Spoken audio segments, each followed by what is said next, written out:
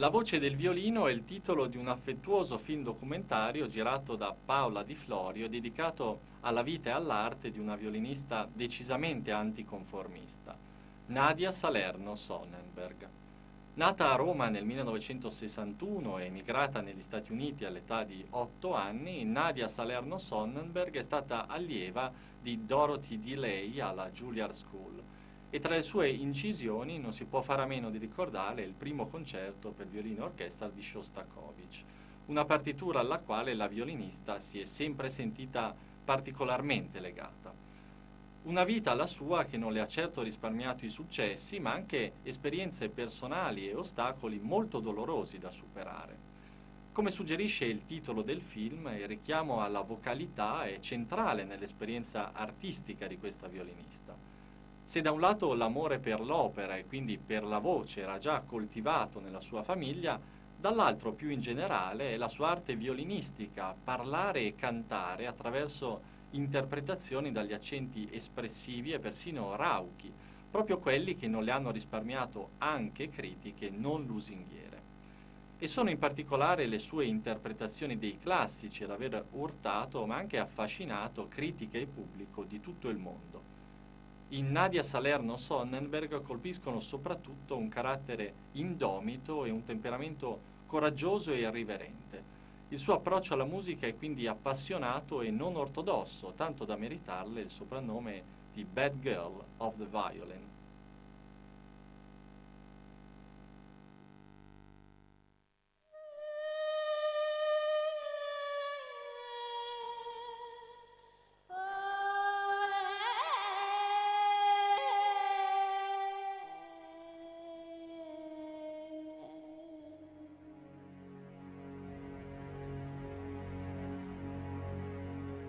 È un artista capace di sciogliere qualsiasi vincolo con la realtà di questo pianeta.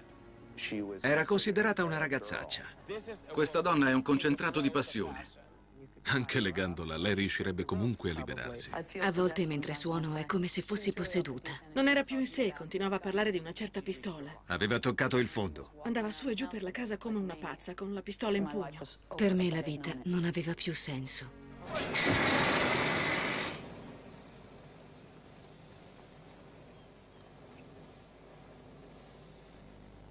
Immagino che non si possa fumare qui sopra, vero Fred?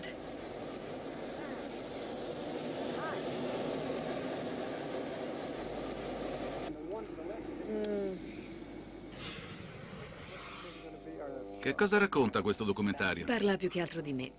Capisco. E lei cosa fa? Sono una musicista. Una musicista? Non un'attrice. E cosa suona? Il violino. Davvero? Vuole vedere il mio marchio? È brava? Guarda, guarda.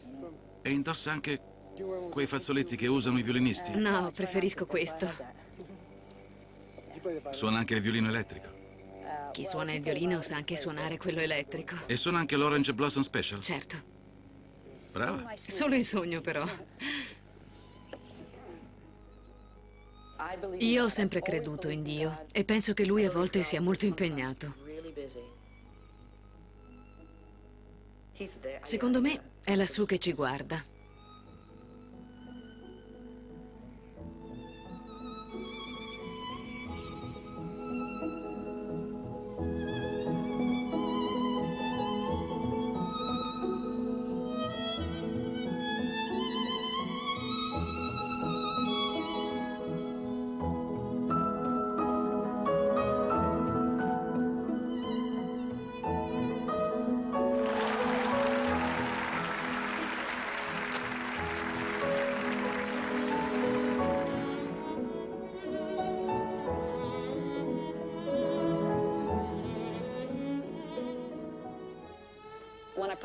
Con il violino sotto il mento riesco ad esprimere il mio stato d'animo molto meglio che con le parole.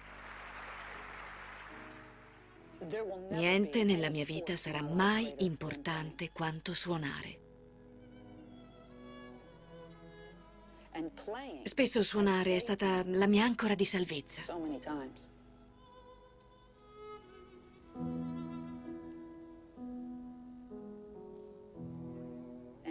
Se non fosse stato per la musica, a quest'ora sarei sicuramente già morta.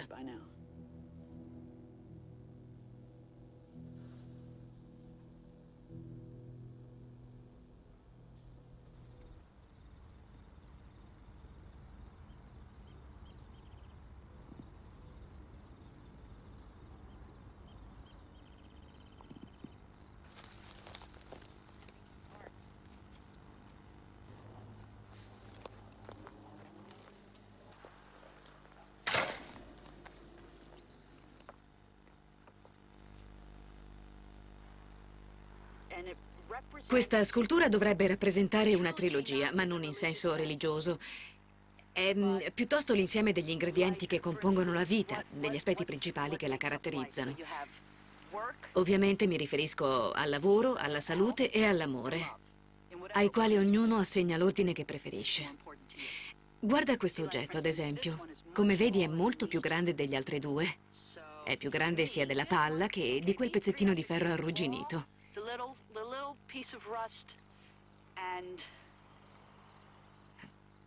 No, questi non vanno bene. Prendiamo gli altri tre oggetti. La tazza, la pietra e la batteria.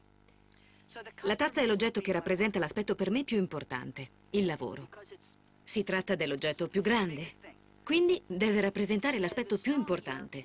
Al secondo posto c'è la pietra, ovvero la salute. Se dovessi descrivere la mia vita usando degli oggetti, beh, userei questi tre. La batteria invece corrisponde all'amore e non a caso è l'oggetto più piccolo. Anzi, per rendere meglio l'idea dovrei toglierla e metterci questo mozzicone di sigaretta. Un sacco di persone mi chiesero se conoscevo questa donna. Un mio caro amico un giorno mi disse, devi assolutamente conoscerla. È identica a te, è la tua copia al femminile. Gli chiesi che cosa intendesse dire con questo e lui rispose che solo incontrandola l'avrei capito. Ciò che più ci accomuna è il nostro spirito ribelle. Per noi le regole esistono per essere infrante. No, ci sono tre modi per suonarlo. Uno è molto noioso e a noi non interessa. Il secondo consiste nel cominciare con un tempo molto lento, però aumentarlo via via in un costante accelerando, fino al termine del pezzo. Ho capito. D'accordo? Infine esiste un terzo modo, che è anche il più comune. Dopo l'inizio si suona più velocemente, poi si rallenta leggermente, quindi si accelera nuovamente e alla fine si raggiunge un tempo come questo. Tu come lo vuoi fare? Io vorrei suonare spedito fino a lì. Perché poi bisogna rallentare. Quindi scegli l'accelerando costante? Sì, fino a lì. Bene, tra l'altro è quello che preferisco.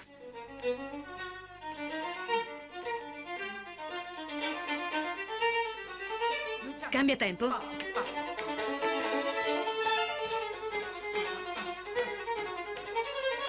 Cambia tempo?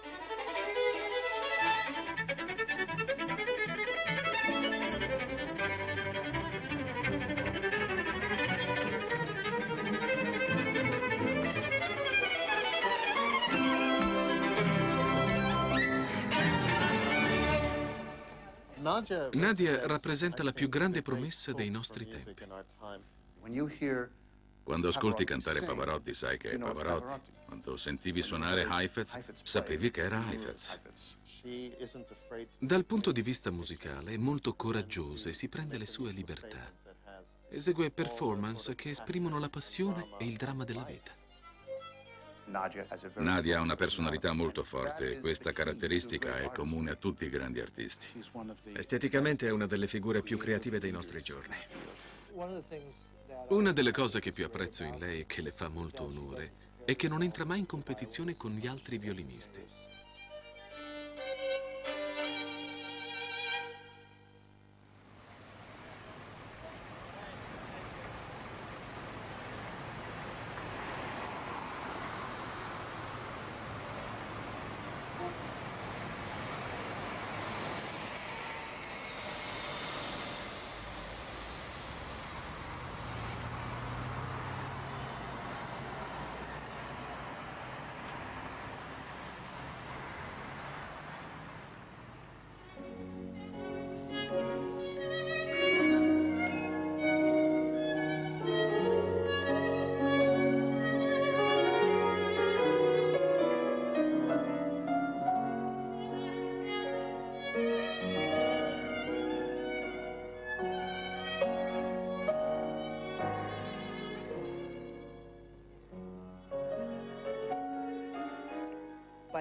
Alla fine del film lui suona alla Carnegie Hall e lei come al solito è a casa che beve. Il concerto viene trasmesso in diretta alla radio. In quel preciso momento lei si accorge che la loro storia d'amore non potrà mai funzionare. Accende la radio per sentirlo suonare mentre cammina sulla spiaggia e proprio al culmine della sua fantastica performance entra in acqua e si uccide.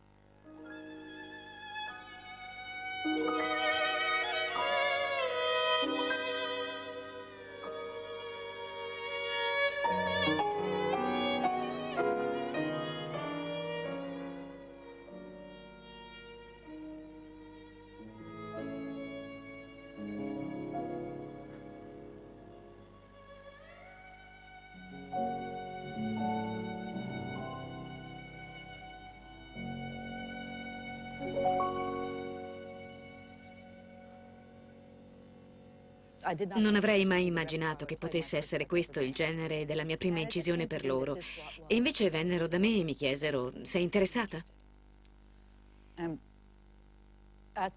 All'epoca io ne avevo un gran bisogno perché, beh, ecco, io avevo... Scusate, non riesco a parlarne.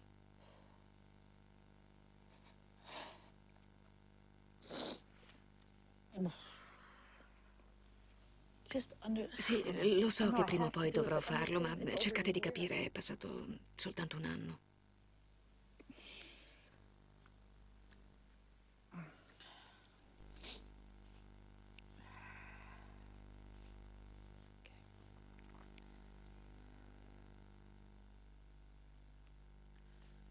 D'accordo, allora. Quando accettai di eseguire la registrazione, io All'epoca stavo attraversando un periodo molto difficile. Mi ricordo che pensavo spesso a... a quanto è buffa la vita e al modo in cui si succedono i vari avvenimenti. Come stavo dicendo, all'epoca avevo parecchi problemi personali e stavo appena riprendendo da una profonda crisi di depressione che era durata alcuni mesi. Fu un'esperienza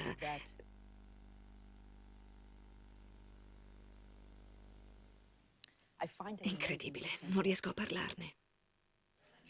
Non vorrei sembrarle l'intervistatore di una rivista scandalistica, ma ce l'ha un fidanzato? Attualmente no. Davvero? Ho rotto da poco. Oh, chiedo scusa. Non si preoccupi, sto bene. Ah, meno male. Ma sì, oggi rompi il fidanzamento, domani vai al talk show.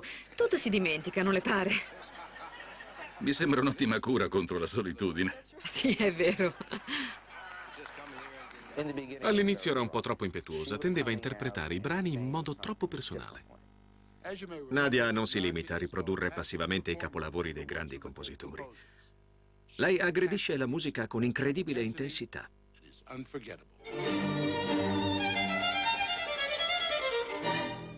Secondo i critici sarebbe dotata di un talento che incute soggezione, quasi timore. Ma c'è dell'altro. Essi sono anche colpiti dalla foto dei New York Yankees che tiene nella custodia del suo violino, dal pacchetto di sigarette accanto agli spartiti, dall'abbigliamento particolare e dal suo tipico atteggiamento con cui sembra voler dire e chi se ne frega. Nadia non era certo la ragazzina impaurita che si esibisce timidamente.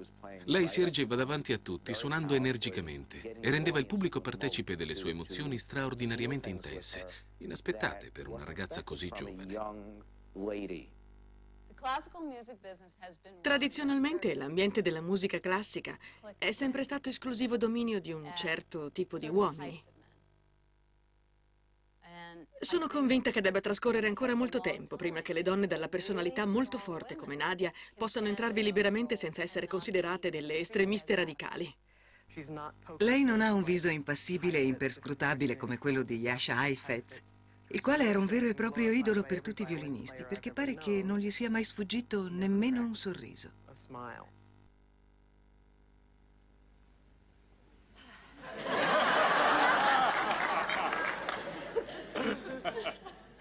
E adesso la marcia tratta da L'amore delle tre melarance di Prokofiev, arrangiata da Heifetz.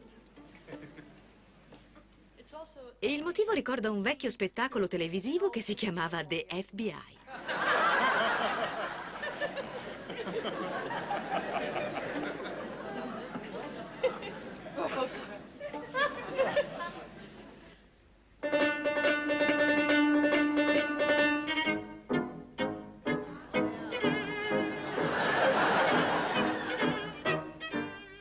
Dicevano sempre a mia madre che dovevo imparare a suonare uno strumento perché sia Eric, il mio fratello maggiore, che mio nonno erano capaci a suonare. E così quando qualcuno veniva a trovarci, ero l'unica che non era in grado di intrattenere gli ospiti con della buona musica.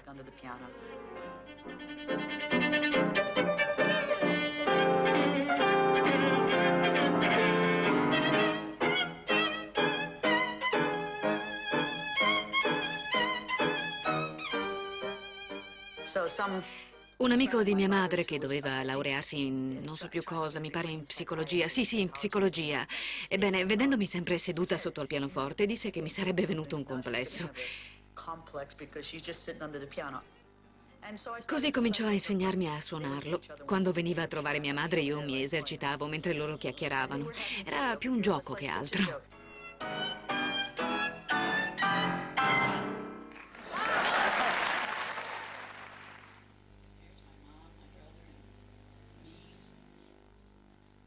Non mi ricordo molto del periodo che ho trascorso a Roma. So soltanto che a otto anni mi trasferii negli Stati Uniti e mi iscrissi a scuola. All'inizio ero spaesata, mi sentivo come un pesce fuor d'acqua perché non conoscevo una parola d'inglese. Ero angosciata solo all'idea di uscire di casa. Il mio accento era molto marcato e anche il mio look era completamente diverso da quello degli altri ragazzi, per non parlare delle mie merendine. Io facevo pranzo mangiando per così dire alla siciliana, mentre gli altri alunni si portavano tutti burro di arachidi e marmellata. Mi ricordo che avevo sempre degli enormi panini con uova, pepe e olio a volontà e li avvolgevo in un sacchetto di plastica, un'altra abitudine che mi distingueva dagli altri. Inoltre andavo sempre in cerca di guai. Avevo un'aria di sfida con quell'espressione che sembrava dire che cos'hai da guardare, eh? Mi ricordo che un giorno dovevamo presentare e descrivere alla classe il nostro passatempo preferito c'era chi aveva portato i dischi del suo cantante preferito, chi dei giocattoli. Io invece me ne uscii con il concerto per violino di Brahms. Lo misi su e lo presentai ai miei compagni spiegando che cosa fosse e che al momento il mio passatempo preferito era ascoltare quel disco. Scoppiarono tutti a ridere. Per me fu come un incubo. Prova a immaginarti cosa significa per una ragazzina essere derisa dai compagni. Erano tutti lì davanti che ridevano di me. Non ci vidi più. Corsi al giradischi, tossi bruscamente il vinile rigandolo e gridai «Siete degli stupidi, non capite niente!» Lo rimisi nella sua custodia, uscì dalla classe e corsi a casa. Piansi per tutto il tragitto, ma naturalmente non lo raccontai mai in classe. Continuai a comportarmi in modo sfrontato, rispondendo a tutti per le rime. Mio nonno mi amava più di chiunque altro. Dal punto di vista musicale è stato sicuramente la persona che mi ha influenzata maggiormente, trasmettendomi la sua grande passione per l'opera. Ogni sabato sera ci sedevamo sul divano ad ascoltare il suo pezzo preferito. Stavamo fermi, immobili in quella camera dall'aria viziata e ci ascoltavamo tutta l'opera, che durava più o meno tre ore. Lui mi raccontava tutto ciò che succedeva, nei minimi particolari. Adesso sta raccogliendo il coltello ed esce dalla stanza, poi arriva l'ufficiale e così via. Inoltre mi spiegava le differenze tra i cantanti d'opera, sempre parteggiando un po' per quelli italiani. Proprio l'ultimo passaggio di questo pezzo lo canta tutto d'un fiato. Ciò mi aveva colpito fin da piccola, quando infatti chiese a mio nonno se era vero che lo cantava tutto d'un fiato o se non si trattava invece di un trucco durante la registrazione. È possibile che riesca a cantare il passaggio tutto d'un fiato? mi domandavo. Mi esercitavo soprattutto sull'ultimo passaggio di vocalise per farlo sembrare tutto d'un fiato.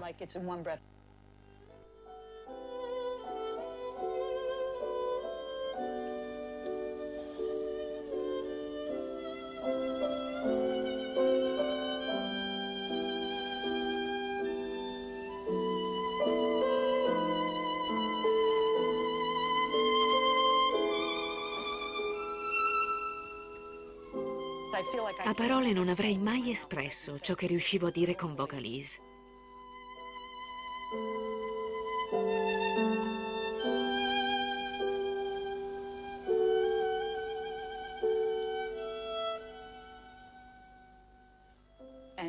Mi resi conto di quanto fosse importante per me salire sul palco e suonare.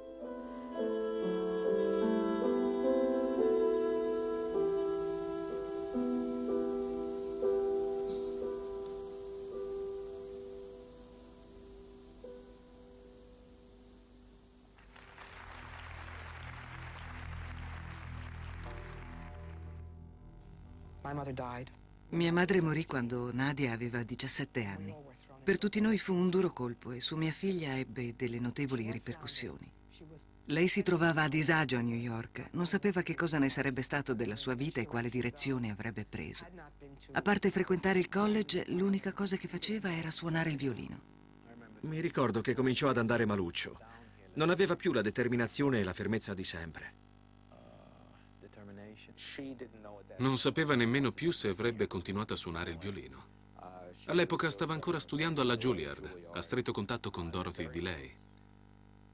A quanto pare Nadia abbandonò le lezioni e per un po' smise addirittura di suonare.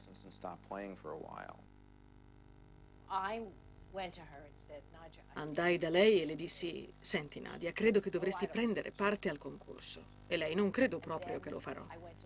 Allora andai da Dorothy e le dissi, mi piacerebbe che Nadia partecipasse al concorso. E lei rispose, no, no, non se ne parla nemmeno, non è pronta. Fino all'ultimo momento sembrava decisa a non partecipare e cambiò idea poco prima che il concorso iniziasse. Non ho mai incontrato nessuno che suonasse con la stessa energia, la stessa determinazione e soprattutto la stessa passione. Passò dalla inattività più totale ad un esercizio assiduo di 12-13 ore al giorno per i due mesi successivi. Si stava mettendo alla prova, voleva capire se aveva la stoffa per diventare qualcuno. Le telefonarono di mercoledì per dirle che era passata alle semifinali. Lei mi chiamava ogni sera e quella volta le dissi, Nadia, è fantastico, sono fiera di te. Per me è come se tu avessi già vinto. Lei mi chiamò giovedì dicendomi che era in finale e io di nuovo, Nadia, sono così fiera di te, per me è come se avessi già vinto.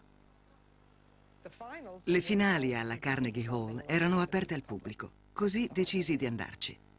Ce la mise tutta e vinse. Quando pronunciarono il suo nome stentavo a crederci. Non riuscii più a trattenermi. Ero così emozionata che mi misi anch'io a gridare il suo nome.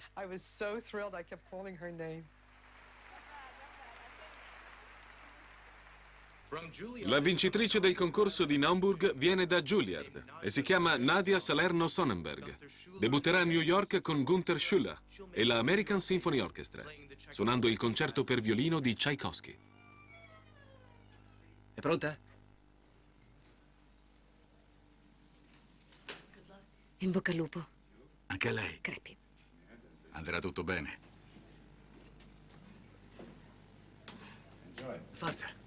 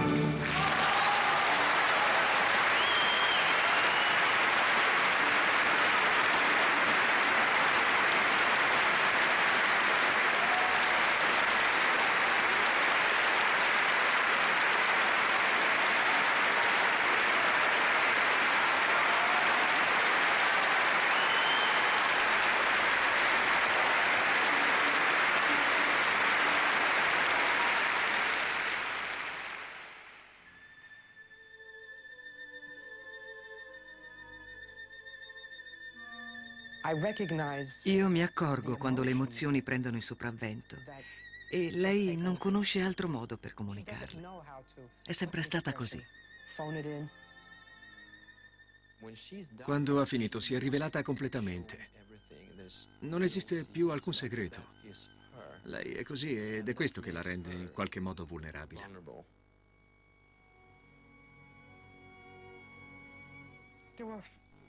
Mi è capitato diverse volte di toccare con mano le sue sofferenze e i suoi sacrifici. All'inizio i giudizi erano contrastanti. Alcune recensioni erano prodighe di elogi e altre estremamente negative.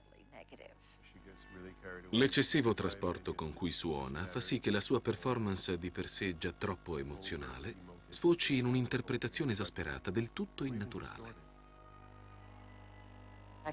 Mi ricordo che furono solo un paio i critici che stroncarono le sue performance.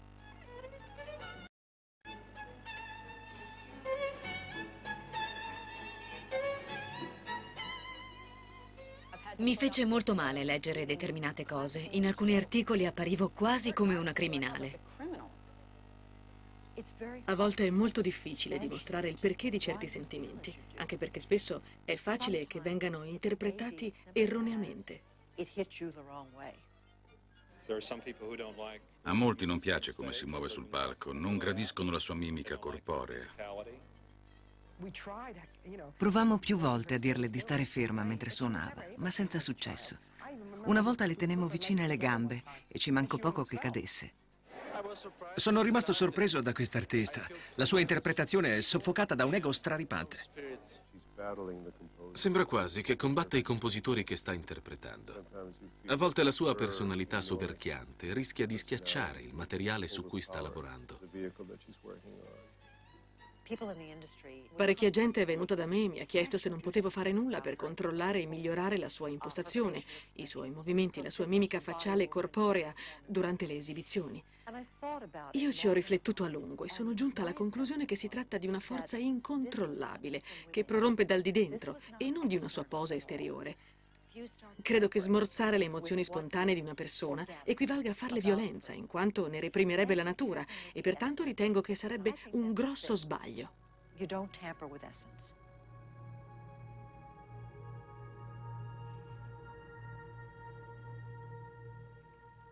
Allen, tu li guardi questi programmi? No. Questa è la ciurma del Voyager. Lei è un capitano, il capitano Janeway. Oh, certo.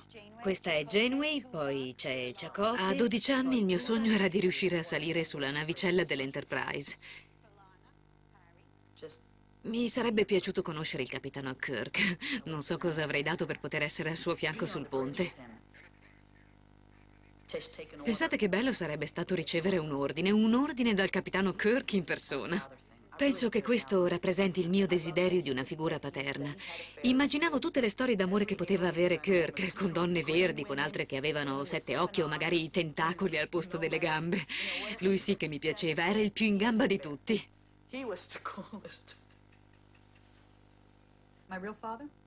Il mio vero padre? A dire il vero non è che sappia molto di lui. Premetto che non l'ho mai conosciuto e, dato che ormai è morto, non avrò mai occasione di farlo, non in questa vita almeno. Quando seppi che era scomparso, cominciai a pensare molto a lui. Si chiamava Nick. Lo ritengo un fatto naturale, visto che avevo appena perso la speranza di conoscerlo. Quando pensavo a lui, sentivo che in me si faceva strada un forte senso di lealtà nei confronti di mia madre. Ricordo che spesso lei mi diceva, se vuoi incontrare tuo padre non è che da dirlo, lui vive a Filadelfia, si può organizzare, chissà, magari dovresti farlo. Quindi non mi avrebbe mai impedito di vedere mio padre, ma io non me la sentii perché, sinceramente, avevo paura che lei ne avrebbe sofferto, anzi ne ero convinta. E se poi mi fosse rimasto simpatico? Cosa sarebbe successo se fossimo diventati amici? Come si sarebbe sentita mia madre? Lui mi aveva abbandonata quando avevo appena tre mesi e lei aveva dovuto crescermi da sola tra mille sacrifici. E improvvisamente, dopo averlo conosciuto, magari saremmo andati a giocare a golf come se niente fosse. Non sarebbe stato giusto. È questo l'unico motivo per cui non ho mai voluto incontrarlo. Mia madre mi diceva sempre, tu hai preso due cose da tuo padre. Una sono i capelli, purtroppo dico io, e l'altra è il suo modo di scendere le scale. Ricordo che la prima volta le risposi, cosa? E lei, ti giuro, quando scendi le scale sei precisa a tuo padre. E poi hai gli stessi capelli fibrosi. E io dicevo, non ci credo. Intanto però ci rimuginavo sopra e pensavo al mio amore per l'opera, che credo di dovere in parte anche un po' a lui. In fin dei conti non è una brutta cosa da ereditare.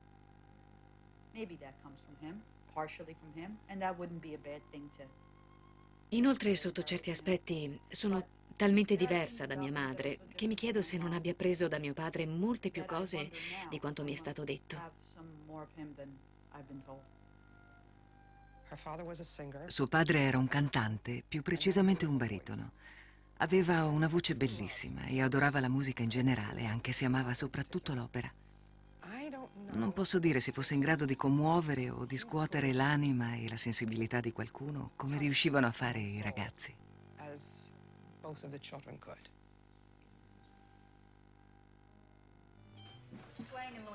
Quando sono andata in Louisiana per un concerto ho chiesto qual è il loro divertimento preferito. Mi hanno risposto che vanno spesso a caccia di alligatori, anche perché lì non sono una specie protetta. Anzi, si riproducono troppo e sono pericolosi perché attaccano vecchi e bambini. Per ucciderli bisogna colpirli proprio in mezzo agli occhi, altrimenti scappano. Durante la battuta di caccia bisogna attraversare le paludi con i serpenti che penzolano dai rami. Sembra un film di avventura davvero eccitante. In quei momenti ti dimentichi di essere un violinista. Pensi solo a stringerti il fucile e stai ben attento che gli alligatori non ti mordano il sedere. Avevate delle guide? Guide? Sì, ben dieci. Le chiamavano Bubba. Alla fine mi hanno dato delle pelli. Io le ho fatte conciare. Sono splendide. Vanno benissimo per fare degli stivali.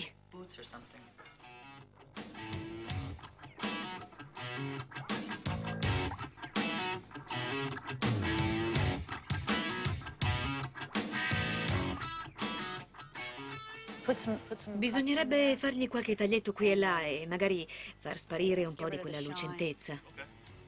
Mhm. Basta usare dell'acetone. Sì, d'accordo. Faccia un bel lavoro, ok? Certo. Mi raccomando, ci tengo. Stia tranquilla. Arrivederci.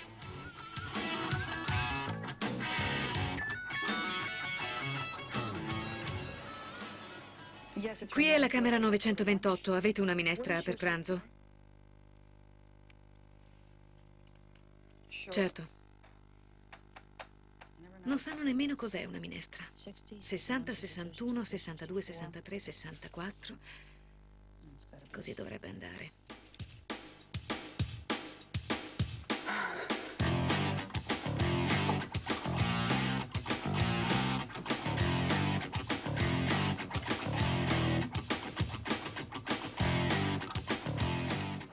Tieni la porta aperta, per favore.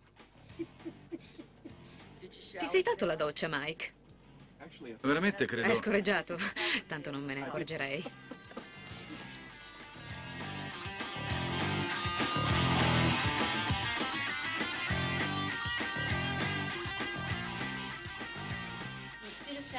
Qui c'è il Sudafed contro la sonnolenza e qui invece un po' di antibiotico per la tua costipazione. Vediamo Trimox del Trimox. Bisogna prenderne una compressa. Robitussin fa bene contro la tosse. E questo aiuta per il mal di testa. Il dottore ha detto che puoi prenderli insieme. Sul serio? Tutti quanti. Bene, mi piace prendere tante pillole.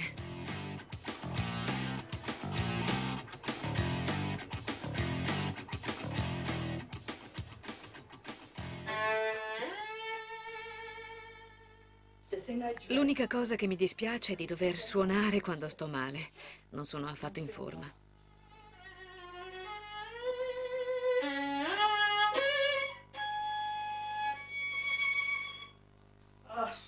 Sono esausta. Ho paura di non suonare bene, di non sentire l'orchestra.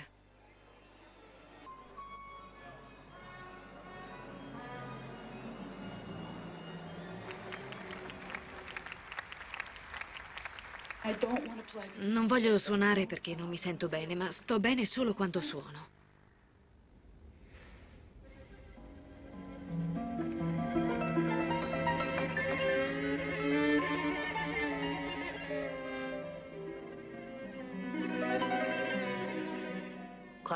La musica classica è come una droga.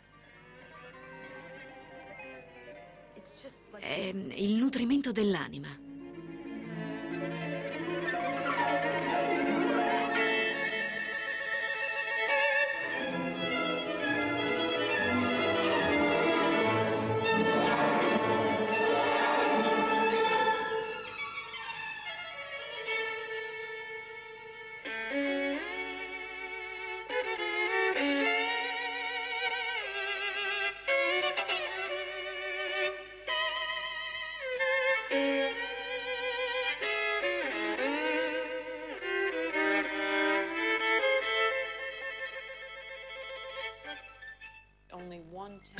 Bassissima percentuale di musicisti diventa solista. Il solista deve riuscire a convincere chi lo ascolta che è lui il rappresentante del compositore.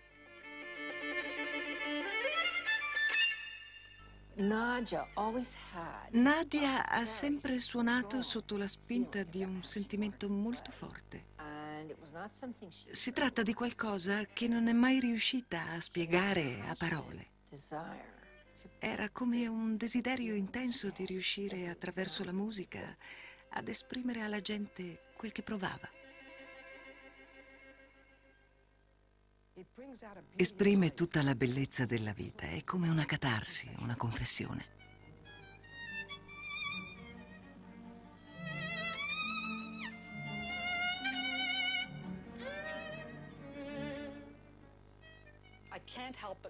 Se il fatto di essere più sensibile di altri a volte è meraviglioso, altre volte è quasi una maledizione.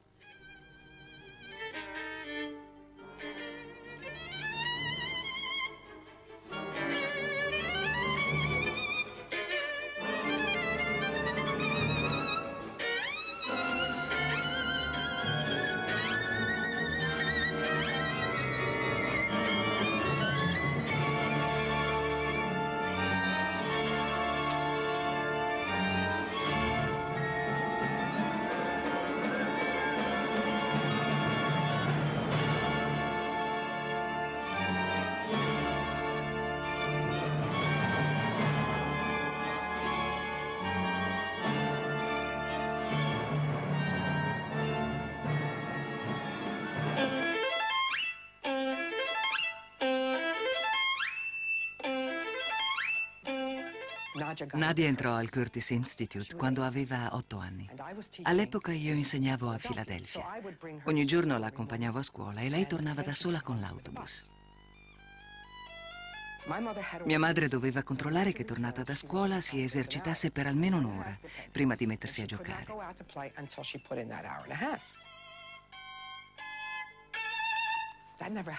In realtà ciò non accadde mai. Nadia usciva a giocare quasi subito perché mia madre le diceva ti sei già esercitata a scuola, i bambini si esercitano anche troppo, perciò va pure a giocare, ma non dirlo a tua madre. Così andava a giocare a baseball e tutto il vicinato ne era al corrente. C'era sempre qualcuno che l'avvertiva quando sbucavo all'angolo della strada con la mia macchina rossa. Lei correva a casa e si infilava dalla porta del retro, lasciata appositamente aperta. Saliva le scale e si metteva a suonare il violino che si trovava sul letto accanto al leggio con gli spartiti. E io la rimproveravo. Quante volte ti ho detto di lavarti le mani prima di suonare? Sapete quando l'ho scoperto? Il giorno in cui è morta mia madre. Io e Nadia facemmo una passeggiata e fermandoci davanti a due ragazzi che giocavano a baseball, lei mi confessò quel segreto. Ora capisco perché avevi sempre le mani sporche.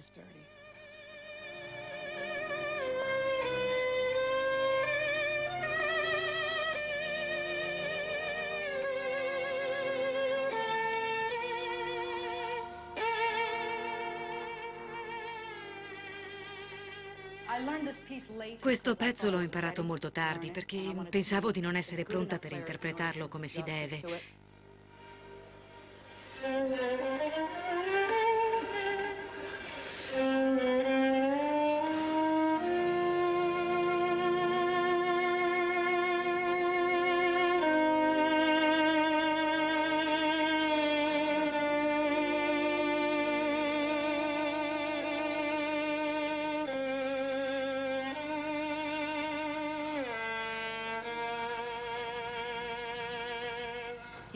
L'autore l'ha scritto perché venga suonato sulla corda di sol.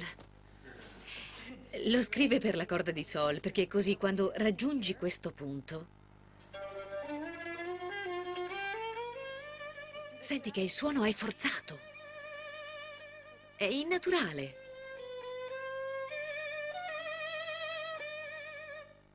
Sarebbe più facile in questo modo. Ma non si esprimerebbe la stessa disperazione. È innaturale suonare così alto sulla corda di sol, ma è proprio il tipo di suono che desidera lui, capisci? Una tortura. Esatto, una tortura romantica. Non so perché, ma penso che sia frustrante. È come quando vuoi qualcosa a tutti i costi e non riesci ad averlo. A me viene bene suonare quella roba.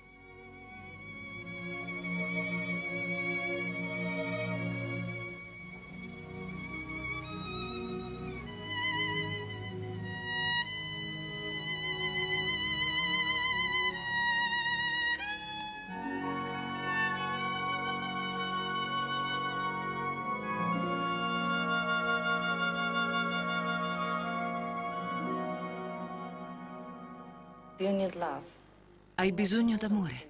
Adesso è la cosa più importante per te. Non devi pensare troppo al lavoro. Quest'anno è propizio per formare una famiglia e potrebbe essere una cosa abbastanza imminente.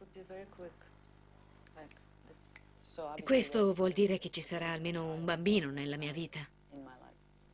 Proprio così. Evviva, che bello, lo spero proprio. Mia madre ne sarà felicissima. E lo sono anch'io. Devi solo imparare ad avere un po' più di pazienza. Tu corri sempre troppo. Se qualcuno ti interessa, preferisci non perdere tempo e cominci subito a correre. Vorrei fumarmi una sigaretta. Posso uscire un momento?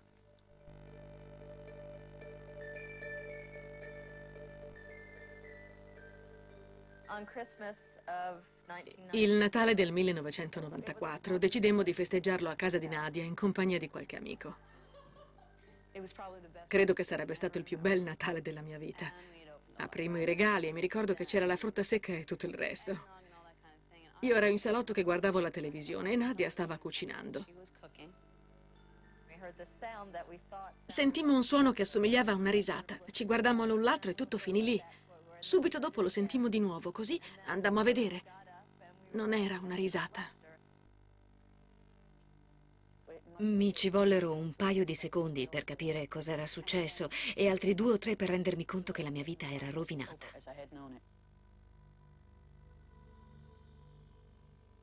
Non riuscivo a vedere la punta del dito perché era coperta da un sacco di cipolle. Mi precipitai in cucina e la vidi stesa a terra che piangeva. Si contorceva stringendosi la mano in questo modo. Subito pensai che si fosse tagliata tutto il dito. C'era sangue ovunque. Ero agitatissima e tempestavo di domande tutti i paramedici. È la migliore violinista del mondo. Ha un talento impareggiabile. È sicuro di sapere come si riattacca un dito. È sicuro che sia possibile ricucirglielo.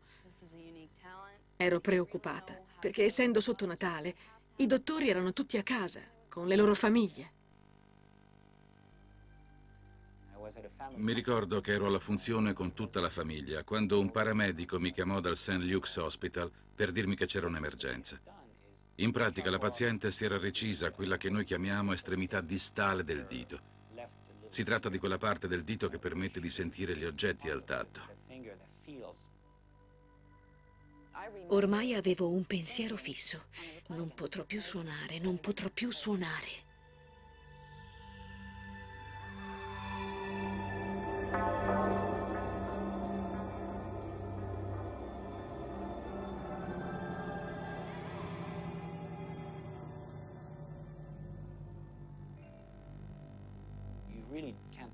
È sempre molto difficile prevedere il grado di sensibilità che i pazienti riusciranno a riacquistare. A volte avvertono inspiegabili sensazioni di dolore.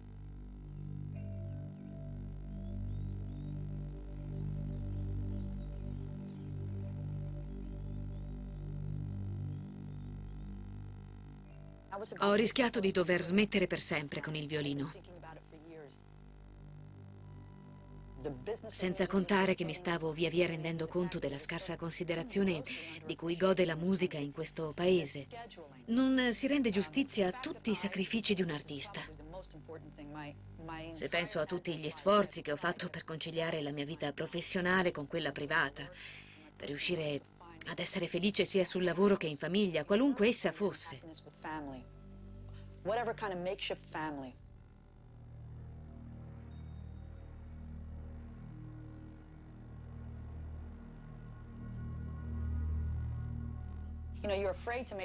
Subentra la paura di dover prendere una decisione. È sempre meglio prendersi un po' di tempo. Io mi ero data esattamente un anno. Però pensa, se dopo ti accorgi che tutto è cambiato, che tutto è diverso e che non sarà mai più come prima. Come sarebbe stato se non avessi più potuto suonare? Che cosa avrei fatto? Dopo 200 esibizioni si sentiva in dovere di non annullarne nessuna. Ormai la gente contava su di lei.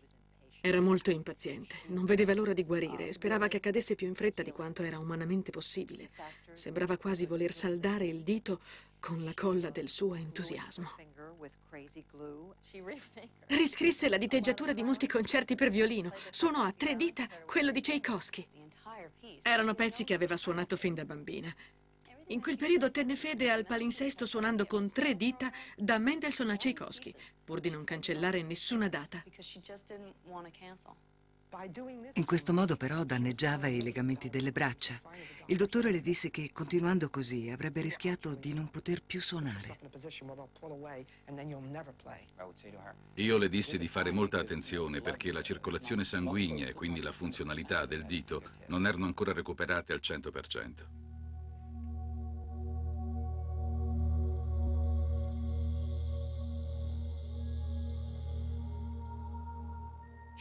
Doveva aspettare che si riformasse uno strato calloso. I violinisti hanno dei calli sulla punta delle dita per proteggerle quando toccano le corde. Continuava a premere il dito infortunato con molta forza e si aspettava di veder spuntare il callo da un momento all'altro. Sei mesi più tardi tutto tornò a posto.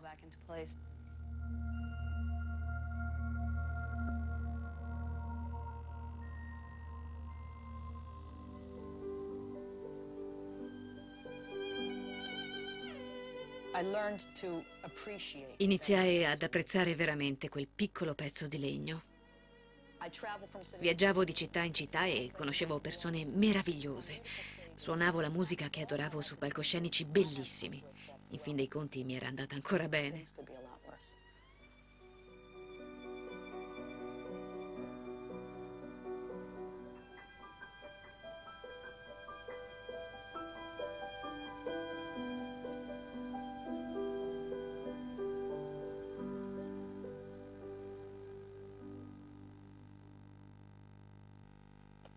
Andai al negozio di animali di Cherry Hill Mall.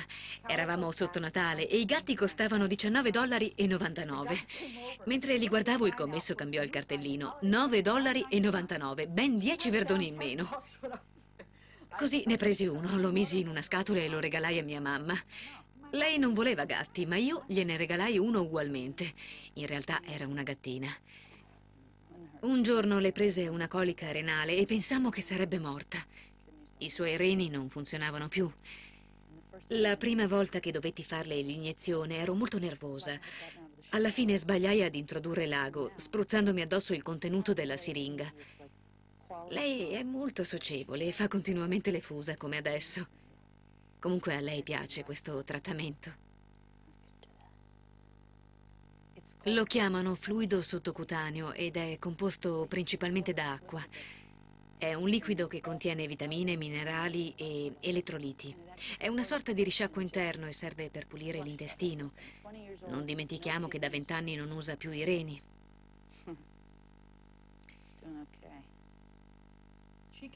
È venuta con me a New York. Prima vivevamo in una stanza con altre quattro ragazze, poi le ragazze sono diventate due e alla fine ci siamo trovate sole io e lei. Mi ha accompagnata nella mia carriera, capisci?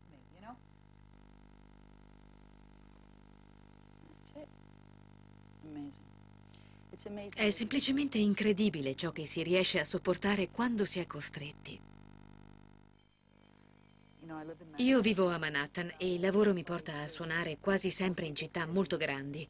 Però ogni tanto magari mi capita di venire in un posto come questo e, e guardo un po' cosa vedo. Non importa dove mi trovi, in città, sulla cima di una montagna o in tenda, è sempre uno spettacolo. Ha quasi un effetto terapeutico. Vengo qui da sola, scarico i bagagli dalla macchina, libero i gatti e mi rilasso. Anche se una volta che ho guardato il panorama penso, sì, niente male. È tutto a posto, ho i soldi per pagare l'affitto della casa e la vista è molto bella, ma... E poi? È solo una casetta carina con un bel panorama. Una volta che l'ho visto, sono molto più felice se posso condividerlo con degli amici.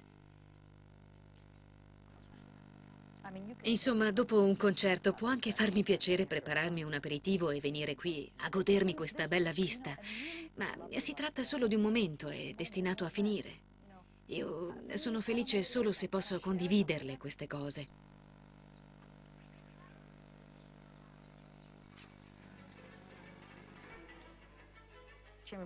La musica da camera è una cosa meravigliosa, soprattutto per un solista. Io, ad esempio, salgo sul palco e faccio del mio meglio per trasmettere le mie intenzioni al direttore e all'orchestra, sperando di riuscirci e che tutto vada bene. Nella musica da camera devi mettere da parte il tuo ego, perché il secondo violinista è importante quanto te. È una dicotomia che trovo fantastica. Anche questo è un esempio di condivisione. It's, um, it's sharing.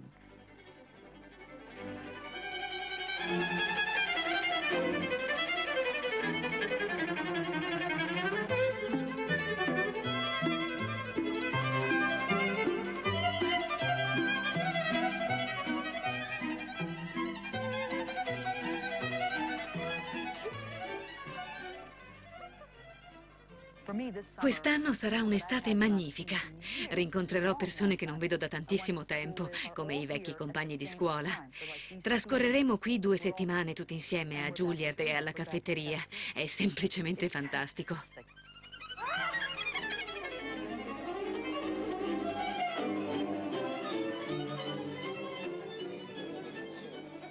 Intonazioni. Sembriamo quasi una piccola band del liceo. Siamo molto ansiosi di rivederci, è come se fossimo rimasti ragazzi, ridiamo sempre per le stesse cavolate. Certo, è passato del tempo, ma ognuno di noi riscopre negli altri la propria gioventù.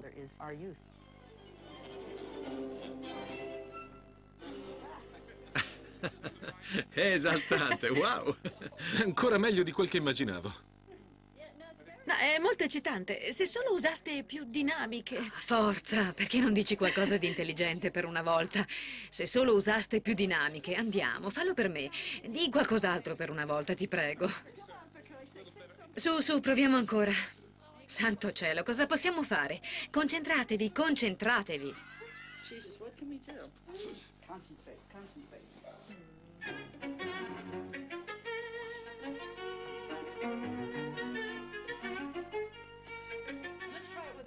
Proviamo così di getto e vediamo come viene.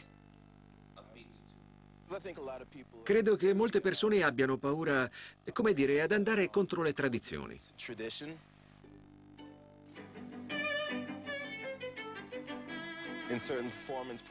In certi casi esiste un metodo prestabilito di suonare, di eseguire il pezzo. E così, ad esempio, chi suona Mozart non dovrebbe usare un vibrato troppo largo. Queste persone vedono l'arte come un qualcosa di statico che non si evolve nello spazio e nel tempo. Nadia è coinvolgente perché dà sempre una sua interpretazione personale. Non suonerà mai una frase buttata giù alla meno peggio. Voglio dire che dietro alla sua interpretazione ti accorgi che c'è sempre molta sostanza.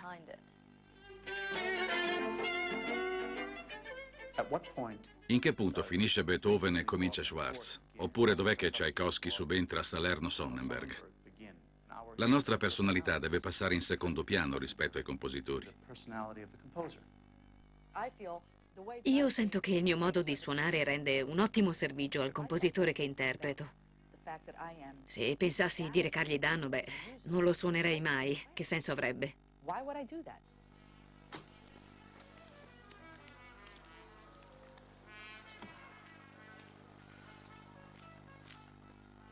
L'idea del disco mi è venuta quasi un anno fa. Ci tenevo assolutamente ad incidere Souvenir de Florence di Tchaikovsky e feci di tutto per riuscirci.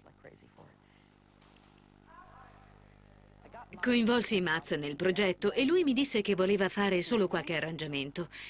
Non fu facile convincere la casa di registrazione a lasciare carta bianca a Maz perché non lo conoscevano. Non sapevano nulla di lui, non l'avevano mai sentito suonare e non avevano mai visto nessuna sua composizione. Sudai sette camicie per convincerli, ma ne valse la pena perché Maz mi ripagò con un capolavoro.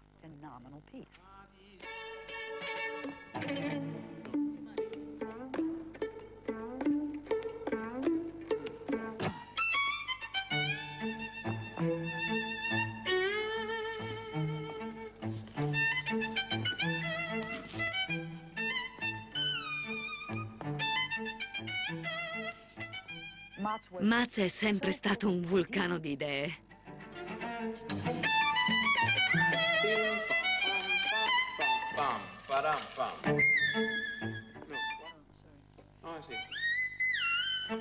Aspetta un momento.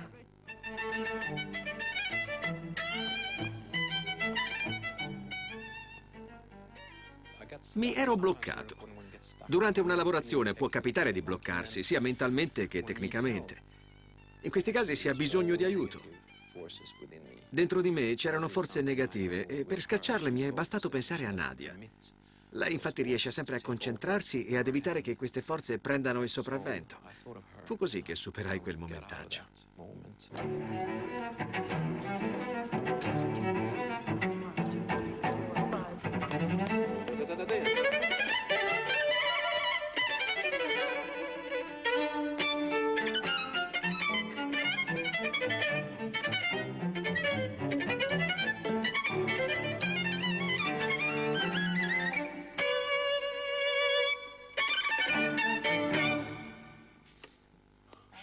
Grazie per essere venuti. Grande! Non l'avevo mai vista come un mostro, e invece può esserlo. Sto parlando della paura, che a volte è davvero molto grande. Tutto ciò che mi dice il mio mostro, però, è sempre qualcosa di molto monotono, calmo, assolutamente logico. Molti mi chiedono se non ho mai paura di fare fiasco, se credo di essere infallibile, una super donna. Esistono diversi modi per combattere questo mostro. Io non credo che riuscirà mai a prevalere su di me perché la mia voglia di successo è più forte.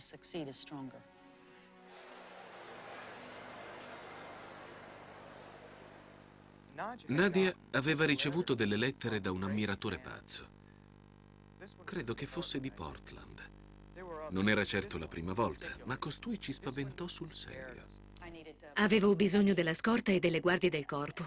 Allora dovevano proteggermi da lui perché voleva dare il via a una nuova razza con me. L'accoppiamento era previsto per l'autunno. Non appena terminai di leggere le lettere, pensai, oh cielo, questa volta Nadia è veramente in pericolo. Mi spedì delle foto, così vidi che aspetto aveva. Una volta salendo sul palco lo riconobbi, era seduto in terza fila, vestito come un boy scout. Aveva la divisa tutta in ordine, era biondo con i capelli tagliati, ben pettinati. Chi l'avrebbe mai detto?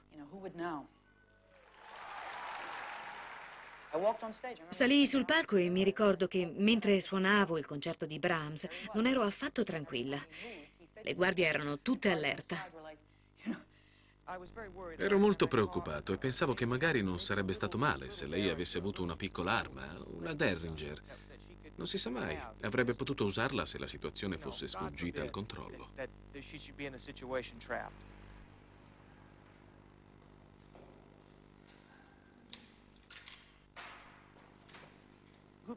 Chi l'avrebbe mai immaginato che quel periodo fosse soltanto un sinistro avvertimento dello stato di disperazione che la colse in seguito?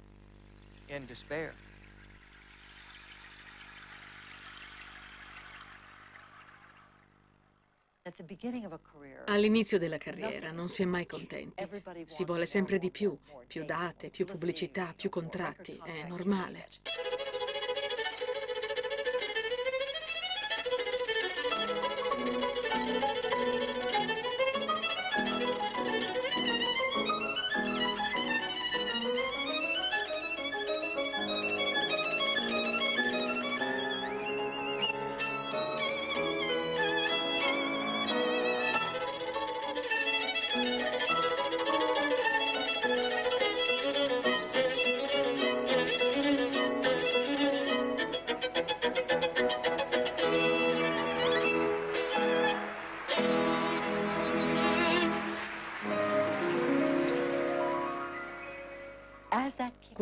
Tutto questo comincia ad avverarsi, l'artista si sente letteralmente travolto.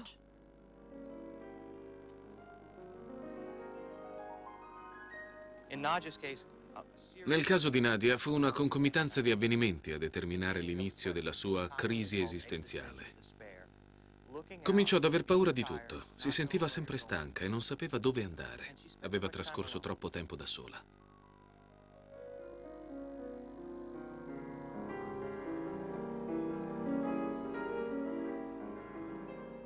Avevo perso il mio equilibrio mentale, anche per colpa di una forte delusione nella mia vita privata. Mi sentivo finita, detestavo ammetterlo. Aveva perso una persona che significava molto per lei e penso che la sua identità ne avesse risentito più del lecito. Ma la cosa più grave è che si sentiva finita. Gran parte di lei era ormai svuotata.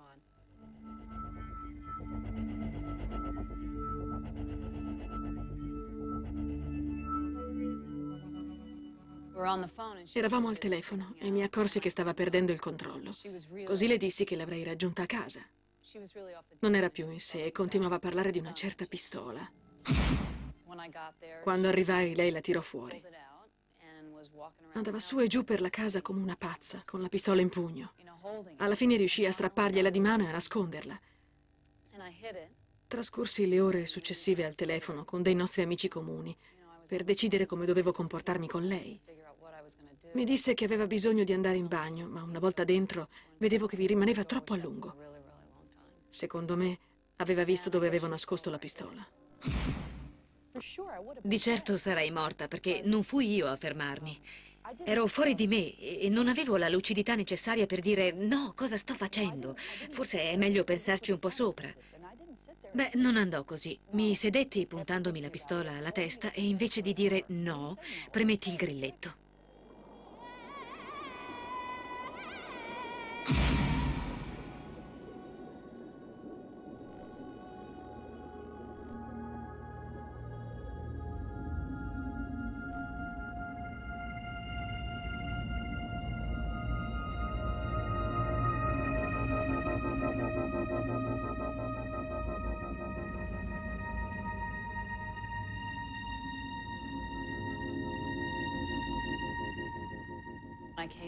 Quando entrai nella stanza, la trovai in uno stato catatonico. Non so con certezza come abbia fatto a trovare la pistola senza che me ne accorgessi. Può darsi che abbia aspettato che uscissi un attimo per prenderla e nasconderla in un altro posto. Per fortuna la pistola si inceppò.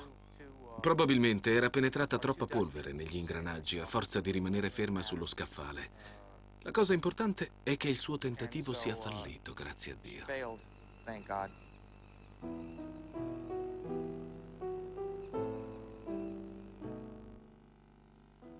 È stata davvero fortunata.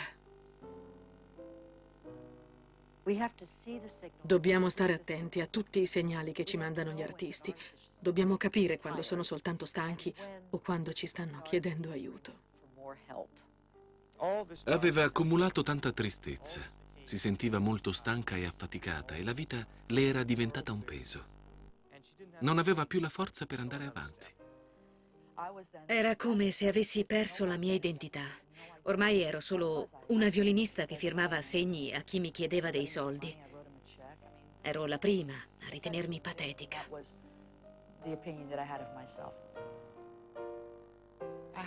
Non immaginavo che la sua mente fosse così offuscata. Qualcuno pensa che il giorno dopo un'esperienza del genere ci si svegli e tutto sia diverso.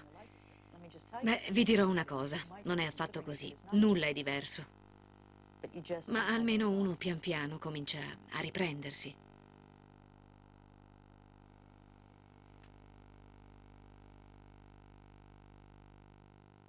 Le sofferenze che mi avevano spinta a quel punto non erano scomparse, anzi È così bello sentire l'acqua che scorre nel fiume. La cosa più sorprendente è che dopo essere scampata al suicidio non lo considero più nemmeno una remota possibilità. È difficile da spiegare, ma d'un tratto ti rendi conto che non avresti dovuto farlo, che era profondamente sbagliato. Insomma, che non puoi farlo e basta. Quindi non ti resta altra scelta che uscirne. Il processo ha luogo molto lentamente, praticamente di minuto in minuto. Poco per volta il minuto diventa un quarto d'ora, che a sua volta si trasforma prima in un'ora e poi in un giorno intero.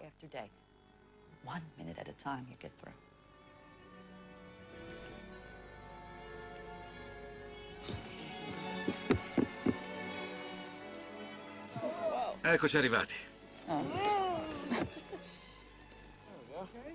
Facciamo un brindisi, va bene? Alziamo i bicchieri e ringraziamo il vento che ti ha accarezzato dolcemente, il sole che ti ha riscaldata tra le sue calde braccia e Dio che ti ha ricondotta sulla madre terra. Back again to loving arms of Mother Earth. Yeah. Cheers, guys.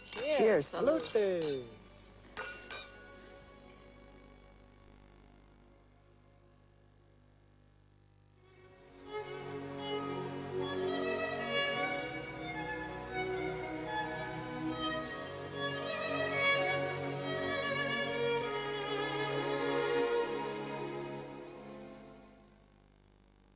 Non saprei dire quale sia la fonte ispiratrice per questo disco.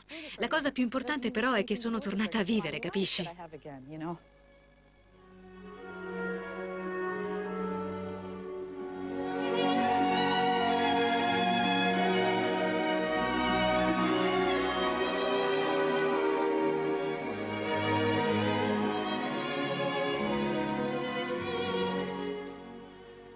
Devo ringraziare soprattutto mia madre se ne sono uscita così bene.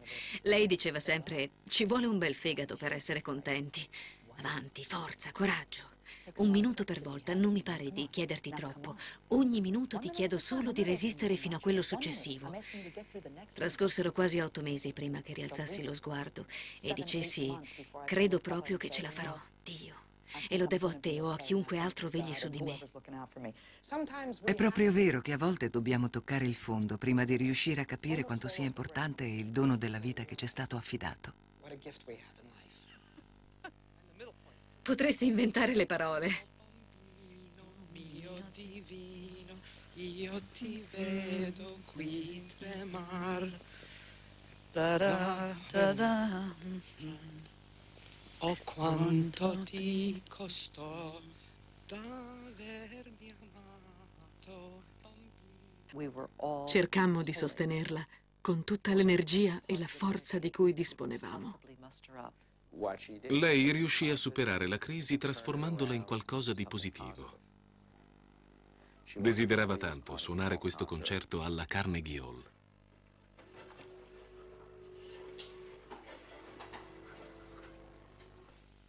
Vi dispiace se mi scaldo due minuti da sola?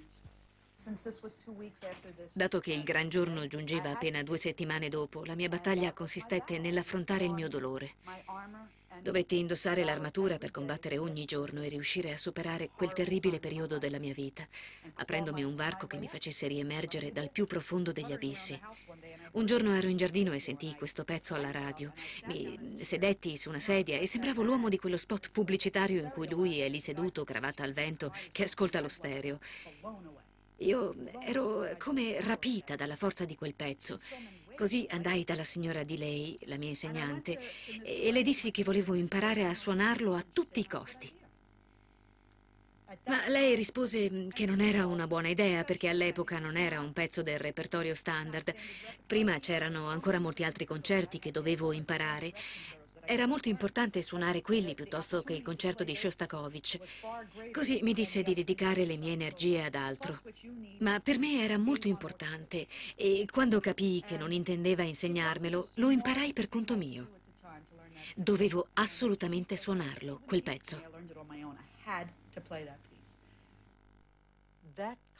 Quel concerto divenne il suo chiodo fisso.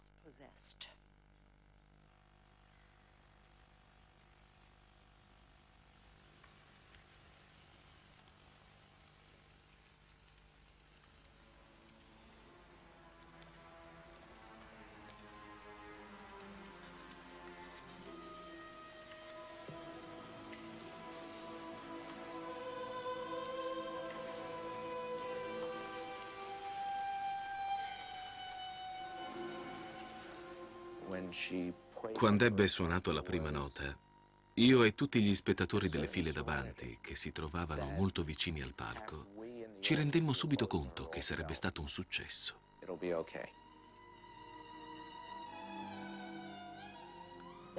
Se c'è un pezzo che meglio rappresenta la battaglia che mi accingevo a combattere e che avrei dovuto combattere a lungo, era proprio quello di Shostakovich.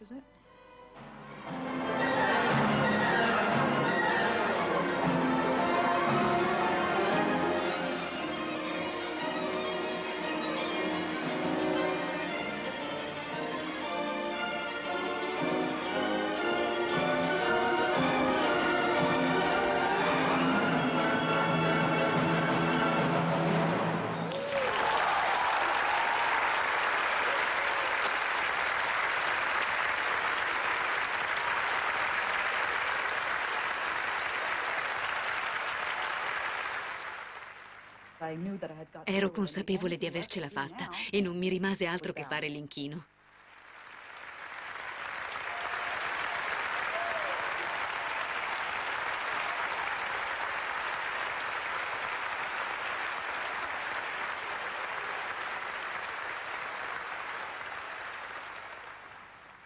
Ora posso farlo l'inchino.